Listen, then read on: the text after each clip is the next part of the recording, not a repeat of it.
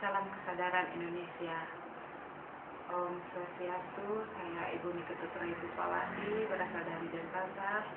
Saya mengucapkan puji syukur kepada Ibu Kami Widiwasa karena pada hari ini, hari Minggu, tanggal 25 September 2011, saya dapat bertemu dengan uh, Pak Nakoi dari Seven Awareness. Uh, tentu merupakan suatu yang amat sangat luar biasa buat saya secara pribadi.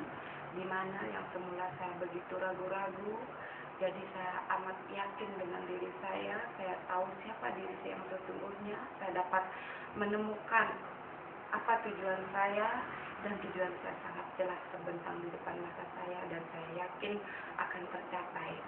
Jadi harapan saya buat teman-teman saya baik yang saya harapkan adalah di mana di seluruh Indonesia justru dari 50 orang lima saja dapat mengikuti training ini akan dapat menimbulkan sinergi yang berkesinambungan yang membuat kita akan bertumbuh menjadi lebih baik.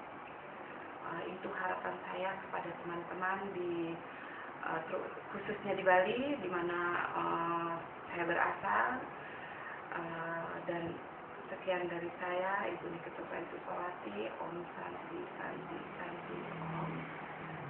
Salam kesadaran Indonesia.